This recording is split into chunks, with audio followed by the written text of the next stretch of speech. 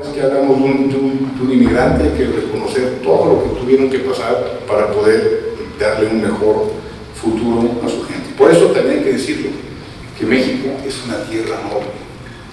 México ha recibido una gran cantidad de inmigrantes y hay que sentirnos también agradecidos con lo que nos ha dado nuestro país. Digo que en Querétaro, mi, mi compromiso con ustedes como descendiente de libanés es hacer un buen papel. Apostamos a la empresa también, por supuesto, a la seguridad jurídica en Querétaro. Yo los invito a que inviertan en Querétaro, los invito a que vayan a Querétaro.